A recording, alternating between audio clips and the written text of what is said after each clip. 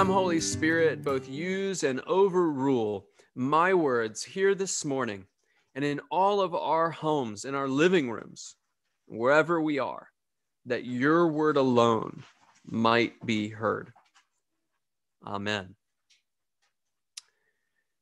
Well, we come now to our final Epiphany encounter moment in this sermon series. We're talking this morning about Peter's bold confession and all that it means.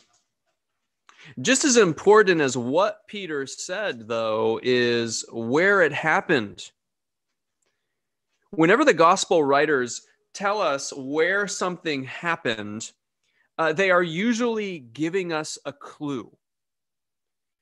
So Mark tells us what? That this happened at Caesarea Philippi. Now, not understanding what's going on culturally in Caesarea Philippi uh, is a little bit like this. I was trying to find something that would make sense to us, and here's what I here's what I came up with. It's a little bit like me going down the road and taking a stroll through Antietam National Bat- Battlefield unawares, unawares of the land I'm walking on and what happened there. In fact, my family loves going to the battlefield and to take walks there. Beauty is strangely opposed to its history, isn't it? When you walk there and you think about what happened and how many men were killed in a single day, it's such an odd thing. Uh, its beauty is a strange thing. Well, so what's going on at Caesarea Philippi? In a word or in a couple words, what's going on at Caesarea Philippi is massive idolatry. That's what's happening at Caesarea Philippi. The temple of Pan, the Greco Roman god of nature, of livestock, and of hunting, stood here in this place. Today, on to YouTube, and you can search for Appian Media's tour of Caesarea Philippi, and you can see what this place looks like today. Dominating the landscape is what looks like a massive gaping cave mouth. Um, it's actually a grotto, and there is some water left here where a stream used to run through the grotto of Pan. What was done here? Well, goats were offered up in sacrifice to Pan. And if you've seen depictions of Pan, he actually kind of looks like a goat. And if the goat sank in the water, that meant that Pan accepted the sacrifice. If the goats floated, it meant that Pan rejected the sacrifice. Now, unfortunately, what this meant is that a child would then have to be sacrificed next in the Appian Media video of Caesarea Philippi, again, after service, go look this up, go take the eight minute tour. But the most chilling words that are spoken by the guide there are these These used to be temples. These used to be temples. Today, they are no more than ruins. They are an open air museum for all to see. There's nothing going on there related to Pan or idolatry anymore. These are dead ruins. But not so with Jesus, the Son of the living God. It is in this place, it's at this time, with the backdrop of idolatry here in Caesarea Philippi, that Jesus asked the most important question in all of the scriptures. Who do you say I am? And even as the question is asked to us in the Gospel of Mark, it's emphatic. But you, who do you say that I am? The question is individual, it's direct, and it's pointed to each of us this morning. This question is still being asked today because of who Jesus is, not because of who Pan was or any other God, but because of who Jesus is. Friends, we will not be judged on the opinion of others about Jesus. We have to come before him ourselves and deal with him ourselves We'll be judged on the basis of how we ourselves responded to Jesus the Christ. So, as we each answer Jesus' question for ourselves, I want to help us focus on three things. One, Jesus' identity itself, what that identity means. And thirdly, how we ought to respond. And you'll see these in your sermon outline if you're using that, uh, which is provided in the comments section of YouTube today. So, those three things. Let's look at his identity itself first. Right, kids? Let's look at Jesus' identity itself. Look at what? Jesus' identity itself. Just wanted to make sure I had my listeners in the room still attentive here to the sermon this morning.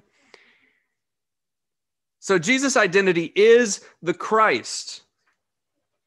If you haven't come to know him as such, you have missed him. This is the epiphany of epiphanies, Jesus' identity itself.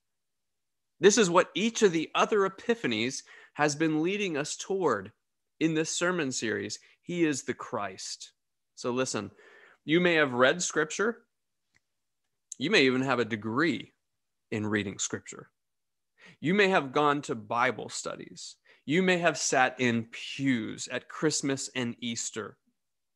But if you have not come to know Jesus as Christ, you have plainly missed him. This is the revelation that's at the heart of the New Testament and of all of Scripture. So, sounds important, right? We better make sure that we understand what Christ even means. Well, first of all, Christ comes from the Greek word Christos. Everyone say Christos with me. Christos. And that comes from the Hebrew word Mashiach. Christ literally means uh, the anointed one. Even more uh, literally, it could mean the oily one, uh, the one who is anointed with oil. And as David Peterson points out, it also means that that uh, the Christ is God's appointed one. So he's anointed one. He's God's anointed one, but he's God's appointed one. He's appointed to something. And in this case, he's a, the appointed one who is the Messiah. He's appointed to be the Messiah. So, as maybe popularly people misunderstand, Jesus' last name is not Christ, it's his title. And it really means more than we can hold on to all at once.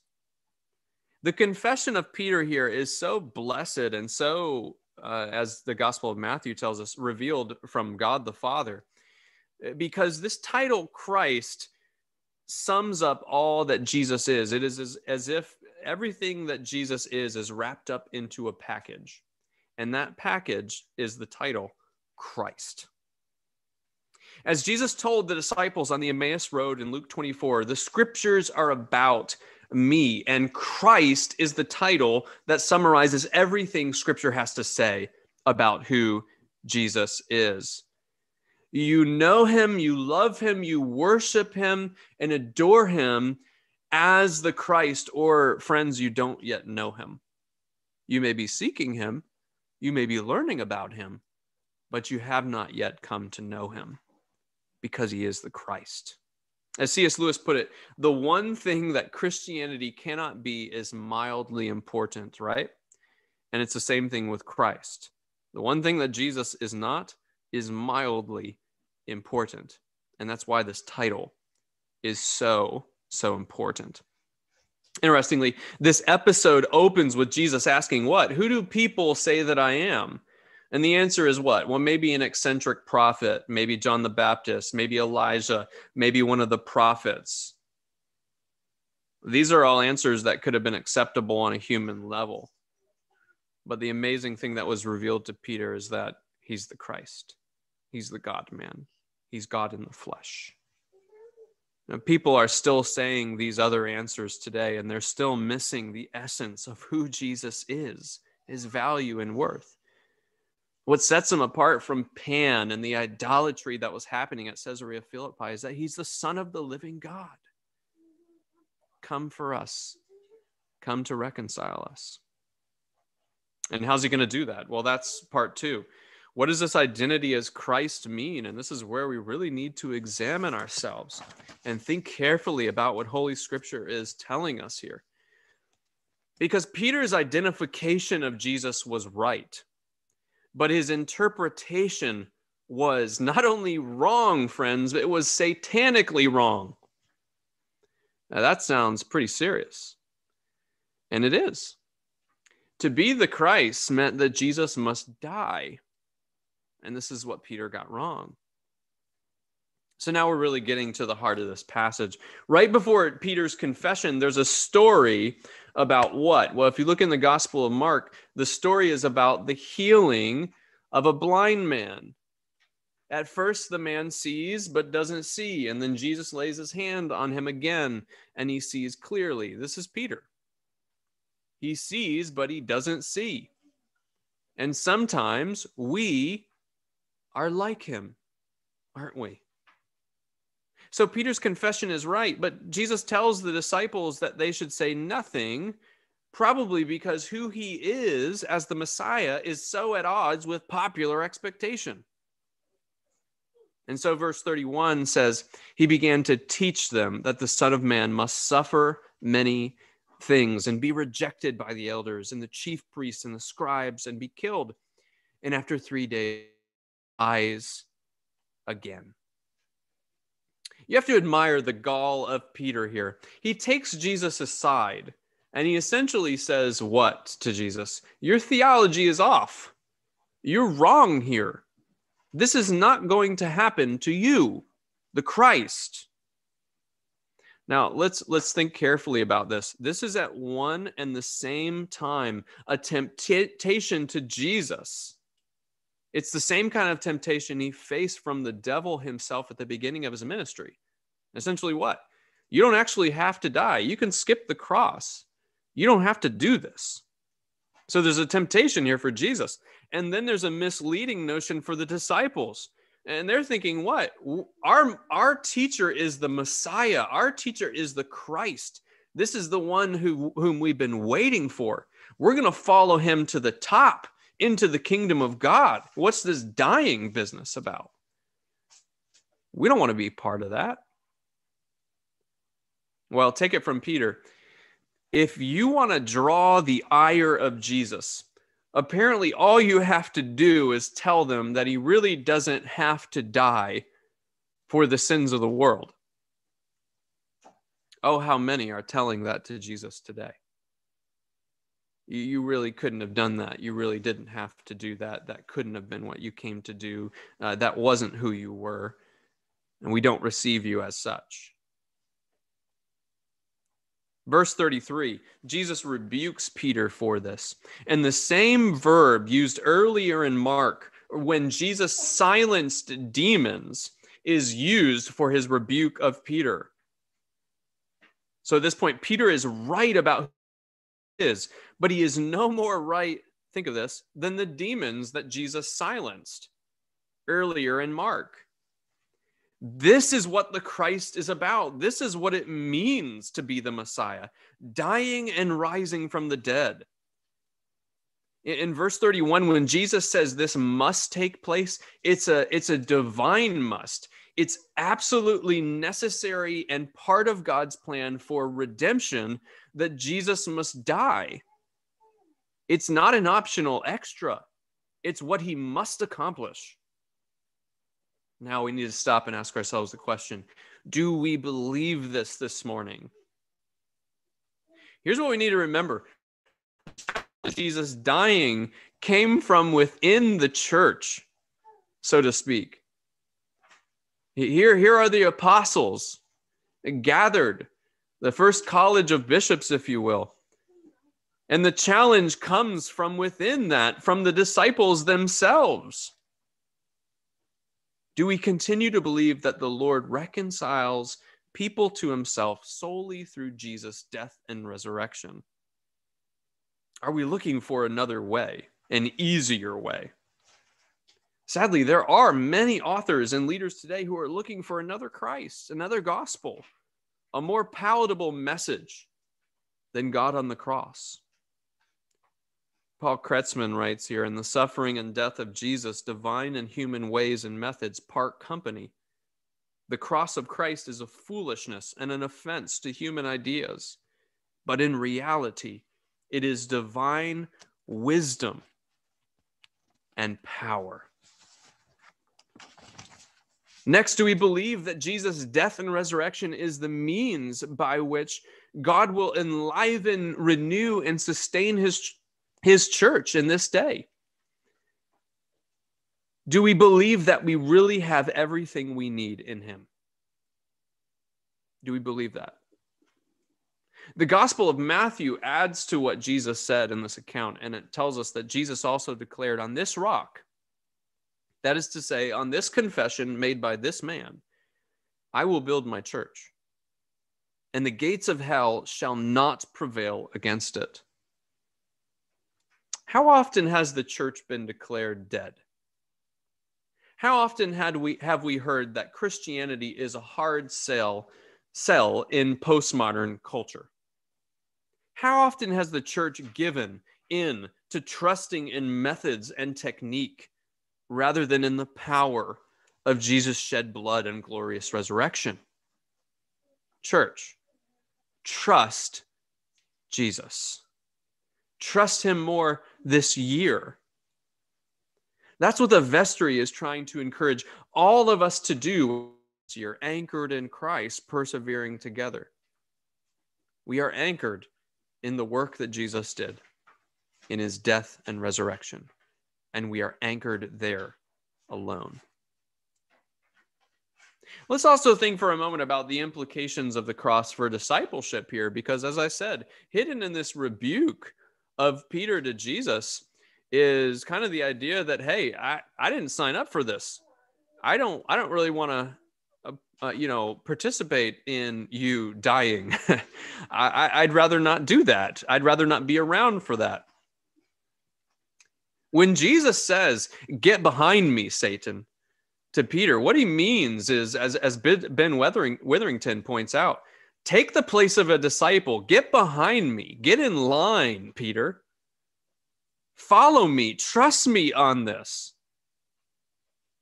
And just a few verses later, after declaring that he himself will bear his cross, Jesus turns around to the crowd, meaning everyone, everyone who would follow Jesus, and says, If anyone would come after me, let him deny himself and take up his cross and follow me.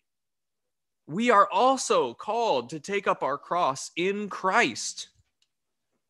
Again, from Ben Witherington. This means that the disciple in principle gives up his right to his own life up front. His own life up front. He would be affirming a willingness to give all, even his very life, in order to follow Jesus. But look what this call is rooted in. If Christ, if the Christ is willing to give his life for the life of the world, what can God not ask of us? Now, friends, this is not exactly a seeker driven message. And it is totally opposed to pop American Christianity. But it is life giving and true. We, as the disciples of Christ, are also called to bear our cross. But what we find is that when we do, the cross will bear us. Third, how do we respond? Let's take a moment to talk about that today. The Old Testament saints longed to see and to know and to own what we have in Jesus the Christ. How do we respond to that today? When we talk about Jesus being revealed as the Messiah and the Christ, we're, we're talking about something that the people of God in times past longed to participate in. Hebrews 11 39 to 12 2 puts it this way. Listen here to what it says. And all these, that means all these Old Testament believers, which is just what chapter 11 was talking about, though commended through their faith, did not receive what was promised since God had providing provided something better for us. What is that something better? It is Jesus the Christ. that apart from us they should not be made perfect. Therefore, since we are surrounded by so great a cloud of witnesses, let us also lay aside every weight and sin which clings so closely, and let us run with endurance the, the race that is set before us, looking to Jesus, the founder and perfecter of our faith, who for the joy that was set before him endured the cross, despising the shame and is seated at the right hand of the throne of God. Now, I was hoping to deliver this message with the promise of Holy Communion coming soon after the sermon, right? But just think about the times when we've gathered around the table of the Lord with the body and blood of Christ placed into our hands. You know, by faith, we're, we're receiving Christ anew when that happens and, and think back on that moment and think forward to the next time we celebrate together. Are we overwhelmed with gratefulness as we come to the table? Are we overwhelmed with the reality that we hold in our hands and take into our body, our soul, and our spirits? Are we, are we seeking to have the mystery of Christ also opened up to others so that they can join us here and have what we have. This is an epiphany moment every time we come together. Every time we come together, the Christ is being revealed to us. We're sharing in Him, sharing in what Old Testament believers uh, wouldn't be able to fathom, wouldn't be able to take in. It's so wonderful. Each time we gather around the table, God is opening our eyes to say with Peter, you are the Christ. This is what's been revealed to us in Jesus. This is who he is. And this is who we want others to come and know for themselves. He's no less. He's no less than the Christ. This is our final epiphany moment. Brothers and sisters, let's pray. Almighty Father, who inspired Simon Peter first among the apostles to confess Jesus as Messiah and Son of the living God. Keep your church steadfast upon the rock of this faith, that in unity and peace we may proclaim the one truth and follow the one Lord and Savior, Jesus Christ, who lives and reigns with you in the Holy Spirit, one God, now and forever.